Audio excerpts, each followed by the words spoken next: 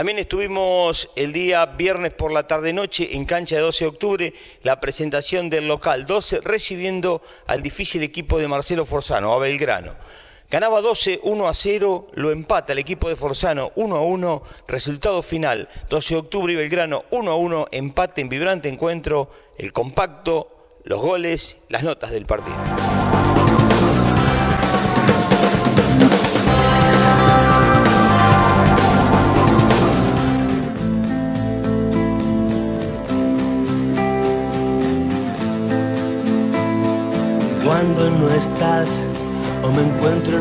Lugar del mundo, cuando no estás, me equivoco cada medio segundo, cuando no estás, la soledad me aconseja mal, cuando no estás, no se abre el paracaídas y salto igual. Y me pierdo en habitaciones vacías cuando no estás. Cuando no estás cuando no estás. La casa vacía pregunta cuándo volverás y escribo versos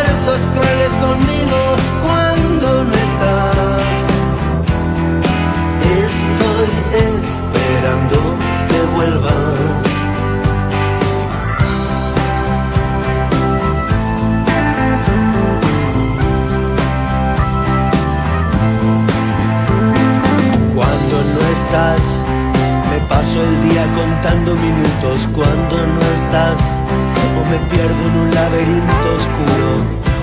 Javier Espadano toca Belgrano, arranca el partido en la tarde-noche del día sábado, cuarta fecha, en cancha de 12 de octubre. El partido se jugaba y ahí la pelota la tiene Jonathan García. Busca habilitar, se va afuera. El tiro libre para el conjunto de 12 de octubre. Ya viene del sector izquierdo cruza el área, no puede conectar Ezequiel Franco y la pelota que se va cerquita. Otro intento para que vaya el 8 Tiseira. Llega primero el arquero del conjunto de Belgrano Caruso para salvar. El córner 12 de octubre más incisivo en el arranque del encuentro en cancha del 12 entre el local y Belgrano. Otro centro que viene, el rebote, la va a buscar Sadauca y Jonathan García. Chocan los dos, queda en el piso Sadaucas el árbitro que está parando y está cobrando la falta para el conjunto de 12 de octubre, las protestas de García, de la defensa del conjunto de Belgrano, decían que no lo tocaba, el árbitro que marcó el tiro libre era penal para el conjunto de 12 de octubre,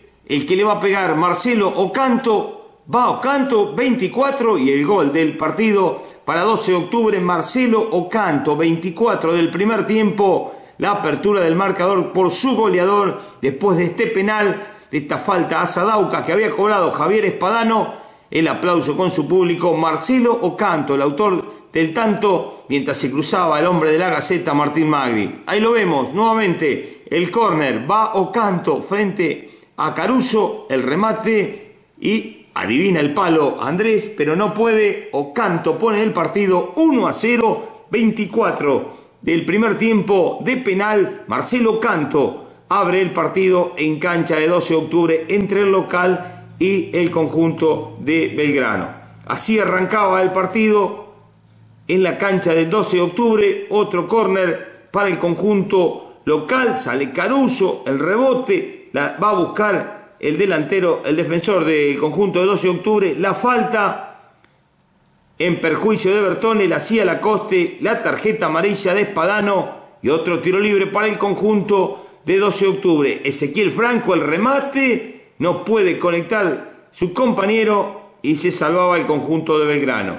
Va nuevamente Tiseira por sector derecho, el centro, queda despejando la pelota y busca la réplica el equipo visitante por Morra. Desde atrás, desde el fondo, como podía Rodríguez, la tiene García, combina con su hermano Jonathan, alarga para el sector derecho, Belgrano que pasa al ataque, Ramiro, la habilitación, llega primero el defensor de 12 de octubre para salvar. Nuevamente, Jonathan García, Ramiro, el rebote desde el fondo, Bertone para despejar y buscar la réplica para que vaya Ocanto, va Ocanto y de cabeza, Caruso se anticipa, viene el arquero en salvando a su equipo. Ahora nuevamente 12 de octubre, el que intentaba era Acosta en aquel sector, el que ganaba era Jonathan García, dos en el camino. Y acá pedía falta, dice que no toca Bertón, el árbitro. El partido que continúa, sigue por sector de, defensivo Nazareno Rodríguez, habilitándolo a Ocanto, Latino Ocanto, Marcelo que se amaca, Romero que no puede, sí Ocanto, nuevamente Ocanto por sector derecho, buscándolo a su compañero que se iba con pelota y todo afuera. El lateral, cuando el árbitro viene y le expulsa a Marcelo Forzano, el técnico de Belgrano, que le reclamaba. El equipo visitante con su técnico expulsado. Ya está Jonathan García jugando por su sector. Llegaba el hombre de 12 de octubre y la mandaba fuera. David García que hacía el lateral. Lo buscaba López, el linqueño. Va López, buena de esta. Por sector derecho, para el número 7, el remate de Morra, buena tapada del arquero Priano, llegaba Belgrano, otro intento del conjunto local. Nuevamente, García, la habilitación para la proyección de Morra, el centro que viene pasado, el cabezazo de Ramiro, se salva 12 de octubre, buscaba empatar el conjunto de Marcelo Forzano. Ahí, con la pelota, con Tigiani rodeándolo, cuando marcaba el final, Javier Espadano del primer tiempo entre Belgrano y.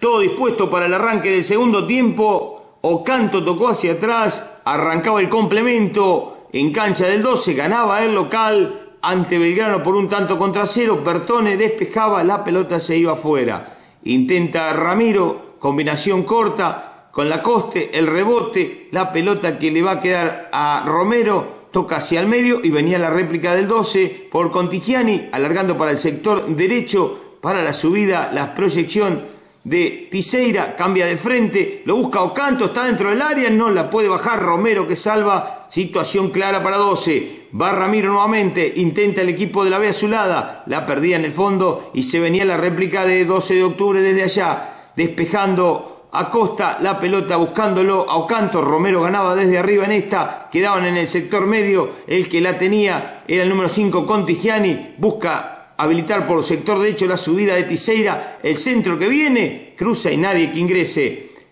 la pelota que se iba afuera. Ahora la tiene Belgrano, en el sector medio prácticamente, Barrera que va a cruzarlo, ahí está, cruza el sector medio, juega hacia atrás, la pelota en poder de Maxi Ramiro para tener el balón el conjunto visitante, buscando la habilitación del número 11 y el que cerraba era el 4 Acosta, la falta que le está cobrando el árbitro sobre Vergés, el tiro libre, Jonathan García y aparece Lacoste, Oscar Lacoste a los 11 del complemento de cabeza sorprender y de arriba el conjunto visitante, el equipo de Forzano empataba 1 a 1. Las dudas eran si era de Romero de Lacoste. En definitiva, el gol lo hizo el linqueño Lacoste. Vemos nuevamente la repetición del sector derecho del tiro libre. Jonathan García. Viene la pelota en aire. La van a buscar los dos. Cabecean juntos, pero Lacoste es el autor de la conquista. A los 11 del complemento, el partido empatado en Ferré entre 12 de octubre y Belgrano 1-1 Oscar Lacoste, el marcador central del conjunto de Belgrano, el que ponía el empate en cancha de 12 de octubre, 1 a 1 en 11 minutos del complemento y ya el partido continúa e intenta Vergés por sector izquierdo, va el remate Ocanto se salvaba Belgrano y en una réplica acá salía Preano cuando entraba el número 7 Morra y nuevamente en dos tiempos la tenía el golero del conjunto de 12 de octubre. El lateral Barrera ya lo hace el número 4 buscándolo a García. La réplica del conjunto de 12 por Ezequiel Franco, buscándolo al 8 Tiseira, la combinación. Llegaba primero Bustos, el defensor de Belgrano, para despejar, el que va cerrando era el marcador 12 de octubre, pedía una falta, el árbitro dice que no, va López, nuevamente López, la habilitación para Jonathan García, va Jonathan García, el jugador 12 de octubre que cierra, el árbitro que está cobrando la falta. Y el tiro libre y la amarilla para Contigiani, el tiro libre para, el, para Belgrano, va García, el remate cerquita del arco de 12 de octubre, posibilidad para la visita, ahora el que intenta es 12 de octubre, así transitando el segundo tiempo, 1 a 1 en cancha del 12 en un duro partido para los dos equipos. El que la va a buscar hacia arriba era el jugador de 12 de octubre, Bertone. El remate y Caruso y se salvaba Belgrano. Otra situación para el conjunto de 12 de octubre. Andrés Caruso que salvaba a Belgrano y la réplica de Belgrano. La pelota le quedaba a Morro. Este la perdía. El que venía era Vergés. Tocaba otra vez para el sector medio. Para la subida de el número 7, eh, perdón, el número 7 era Sena la falta en el medio, el árbitro dio la ley de ventaja, Belgrano que intentaba por sector izquierdo, va Busto, va Busto, viene el centro de Busto, el remate que se va afuera, el córner ahora para Belgrano, Jonathan García, estamos arribando al final del partido, la pelota que volvía hacia el jugador de Belgrano, el remate se va cerca, no quedaba mucho más, Sadaucas desde el fondo para pegarle, el partido estaba 1 a 1 el cabezazo no puede el 2 y acá Ocanto cuando la Coste no podía, se perdía el segundo tanto del partido, así va a terminar 1-1 12 y Belgrano en la tarde noche del sábado.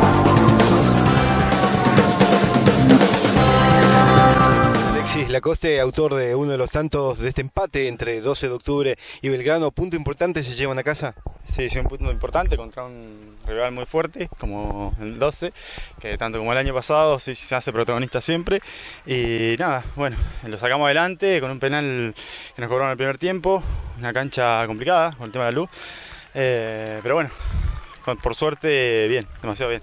Un partido complicado que lo, supieron eh, jugar, eh, lo, hasta lo podían haber eh, hasta podían haberse llevado los tres los tres puntos. Creo que el primer tiempo, aparte del primer tiempo, a partir de los 20 minutos para adelante, creo que fuimos superior. Segundo tiempo también y bueno, también depende un poco de suerte, ¿no? pero bien, bien, bien, bien. lo pudimos sacar adelante por, por lo menos. Bien, el gol, eh, ¿qué sentiste al momento? Nada, mucha alegría, mucha alegría, no tengo mucho gol.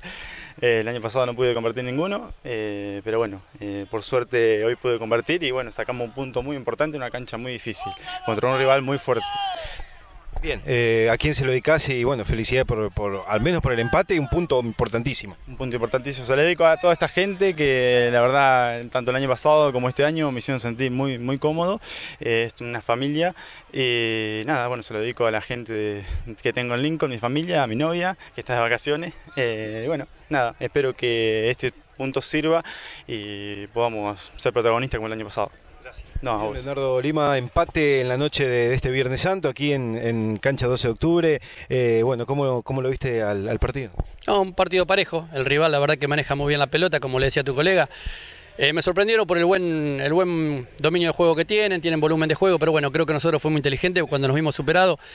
Eh, nos agrupamos bien atrás, salimos de contragolpe y pudimos golpear. Entonces, como le dije a los chicos, que era muy difícil eh, sostener el, partido con, esa, intensidad. Y bueno, se, fue, se dio lo que yo dije. Nos empataron, pero bueno, eh, creo que después tuvimos algunas chances para ganarlo. Ellos también la tuvieron, fue un partido parejo y creo que el empate le queda bien al partido. Bien, Belgrano maneja bien la pelota, tiene buen toque, eh, por ahí lo vimos al 12 abusar un poquito de los pelotazos. Tal cual, tal cual, es lo que yo no quería, fue lo que dije en el entretiempo, que bueno, que quería tener un poquito más de tenencia de pelota, porque trabajamos para, para eso, pero bueno, a veces no se puede porque el rival no te deja, porque el rival nos quitó la pelota, pero te vuelvo a repetir, creo que fue muy inteligente, cuando el rival nos superó con la tenencia de pelota, nos agrupamos atrás, jugamos de contra y pudimos golpear. Eh, así que bueno, lo que rescato es la inteligencia del equipo y bueno, eh, cosas para mejorar, como te dije recién, la tenencia de pelota. Bien, el, fallo del Tribunal de Disciplina en esta semana fue la quita de puntos para, para el 12, tres puntos que lo habían perdido contra Huracán. El, plantel sintió esto? No, no, no, no, no, estábamos ni enterados nosotros, sinceramente. por lo que hablé con los dirigentes me dijeron que van a, van a apelar en, en el tribunal, no sé dónde van a apelar, en el Consejo Federal. y bueno, me dejaron tranquilo que los puntos no lo iban a sacar, así que bueno, tranquilo, porque yo estoy tranquilo con el equipo que lo, los puntos los ganamos en la cancha, lo ganamos muy bien. No creo que Huracán vaya, o si hizo la protesta, no sé de qué le, puede servir. Bueno, no, no, no me gustan esas cosas, pero bueno, eh, estoy al margen de esas cosas y no, no, no nos golpeó para nada. Al contrario, estamos con la cabeza en, tratar de mejorar el, nivel de juego más que nada. ¿La próxima fecha libre? Sí, libre y nos sirve para recuperar soldado porque, bueno, vuelve Calegari después de la suspensión, vuelve Jordano después de un desgarro, así que bueno, ya vamos a tener recambio de jerarquía que, que hoy por ahí no hizo falta. Bien, felicidades por el partido. Bueno, muchas gracias y nos vemos la próxima.